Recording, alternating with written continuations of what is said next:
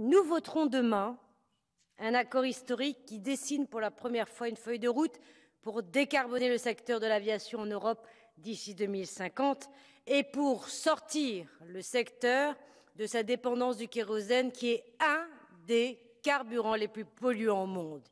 Il y a urgence, le secteur de l'aviation, c'est 3% des émissions mondiales de CO2, soit l'équivalent des émissions de l'Allemagne en un an. Et les projections anticipent une augmentation du trafic aérien de 50% d'ici 2035. Je le dis haut et fort, il est temps que le secteur de l'aviation contribue à la lutte contre le dérèglement climatique.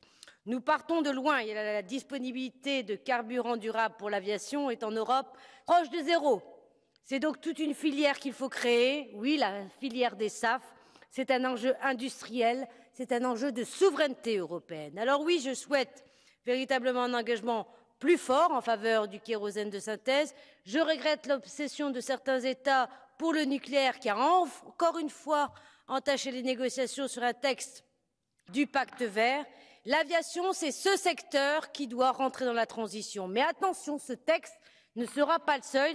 Nous devrons demain réduire le nombre de vols. Nous devrons demain faire en sorte que les lignes aériennes internes dans les pays de moins de 4 heures soient remplacées par le train, relancer les trains de nuit et bien sûr renforcer la législation sur le ciel unique européen.